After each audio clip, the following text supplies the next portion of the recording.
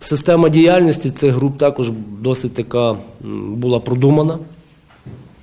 Це і що ті, хто разом працювали після злочину, роз'їжджалися в різні міста України, де проживали собі спокійно, і в тих місцях, де вони проживали, вони ніколи нічого не скоювали. Тобто десь було важко їх прорахувати. По групі, яка е, діяла на території Сихівського залізничного району, розбійні напади просто е, робили зухвало, підходили до людей, приставляли пістолет до голови, забирали всі речі.